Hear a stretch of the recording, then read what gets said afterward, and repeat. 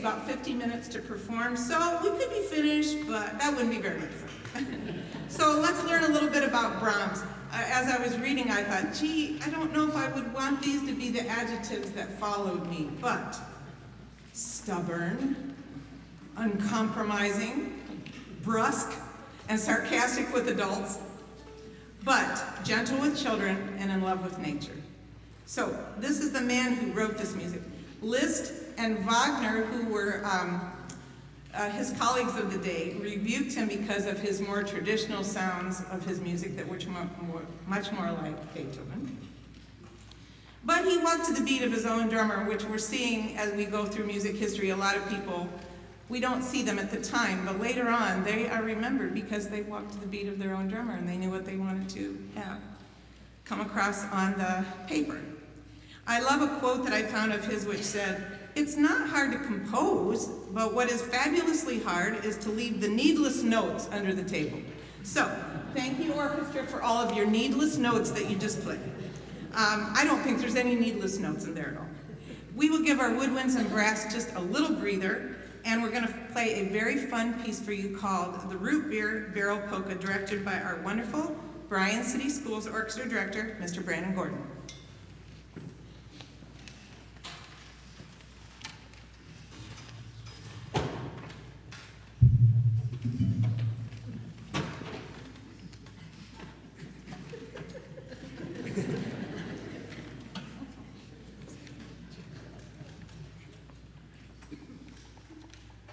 Thank you.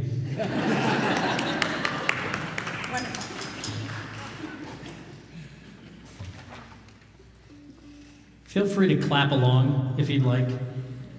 If you don't like, I'll be clapping internally, and you can do the same if you'd like. So, this is the Root Beer Barrel Polka.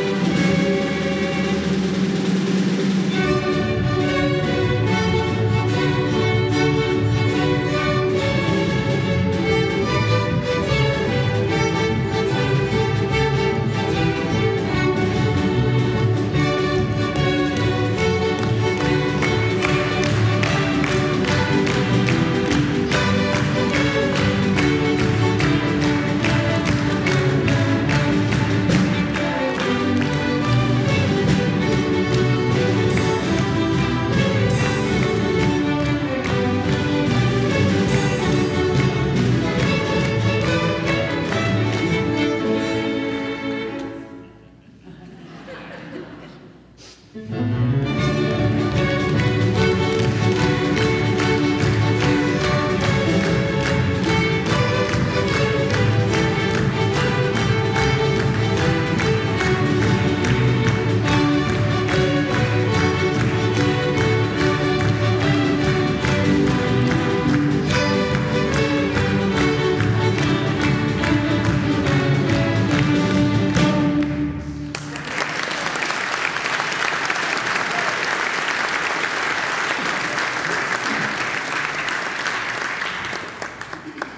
They like it when you clap for them. Thank you. As you can already tell, tonight's program is a smattering of all kinds of symphony music. So we encourage you to give in to, uh-oh, did I miss something? oh, I did, sorry. So we encourage you to give in to the toe-tapping, big band sounds of Duke Ellington. That ends with my very favorite, it don't mean a thing if it ain't got that swing. And let me give a little plug for it. If you have never seen the movie Swing Kids, see it. Um, it ends, it tells the whole underground story of um, big band music in the Nazi area, era, excuse me, and how people that were swingers or swing kids, how they used it, don't mean a thing if ain't got that swing. That was like their, they whistled it to each other to let them know that they were into swing music because, as you know, Hitler was very against that. Um, also, I didn't have this in my script, but I want a show of hands. How many of you went to the longest garage sale in the world today. Come on, hands up. I went. I went to two. Oh my gosh, see, we're saving all your energy for our program. Okay. This is actually my favorite one of the night. What, please welcome Mr. Ben Lupo, and we are going to do Duke Ellington medley.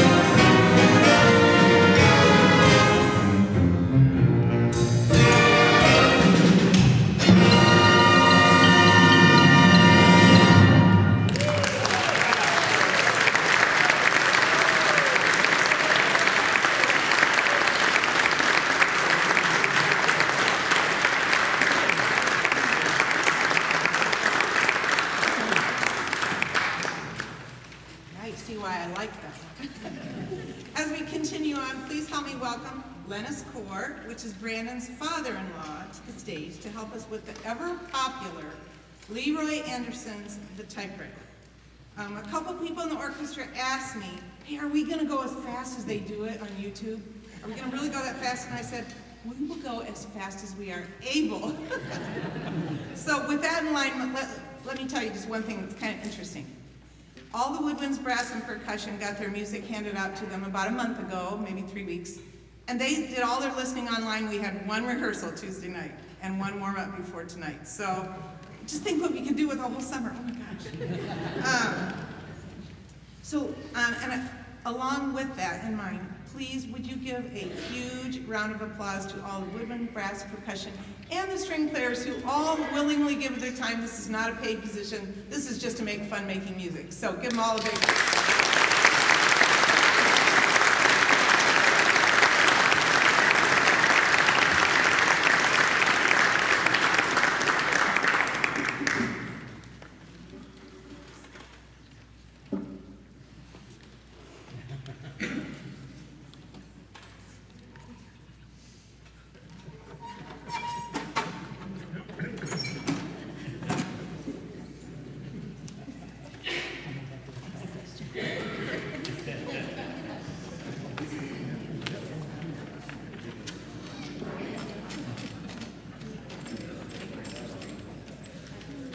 punctuation counts.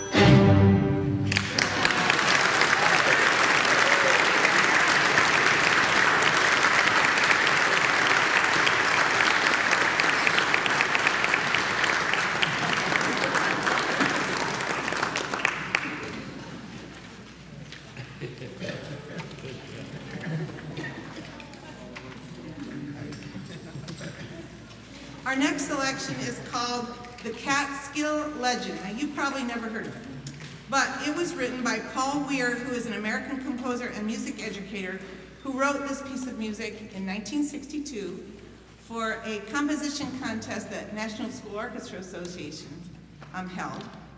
Now, see, this brings back childhood memories for me because it says it's written in honor of Dr. Thor Johnson. These are people that my dad, I mean, we went to music camp. Everybody else goes on vacation in the summer. The Dallies go to music camp. So um, I remember meeting all these people, which was wonderful. But Brandon was going through the office at the high school cleaning out, and he found a record um, with this piece recorded by the Bryan High School Symphony Orchestra. And there are a couple people tonight in the orchestra who played it then. So I call that longevity. um, the term record might date a few of you, including myself. But boy, I'm telling you, we musicians are glad for YouTube. I mean, you can get on and virtually listen to, practice along with, get everything that you need from YouTube. So it's a new era, but we are so thankful to present this song to you tonight. It's called The Catskill Legend.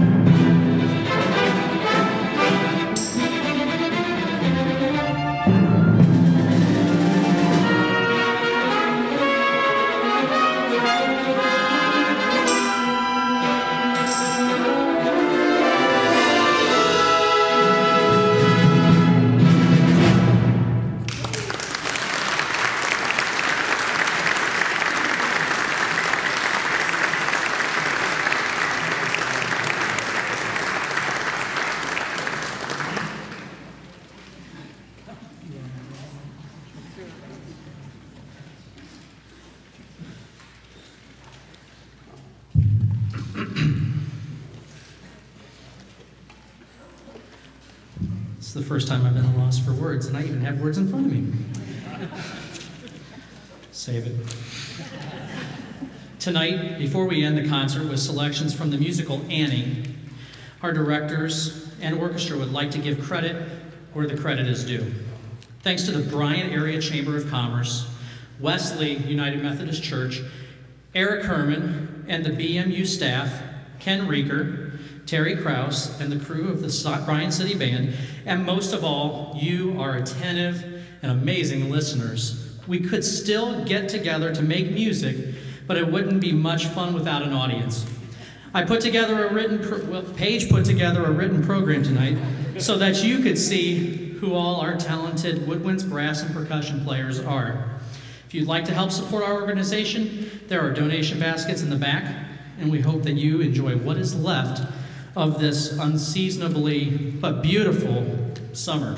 Without further ado, selections from Annie.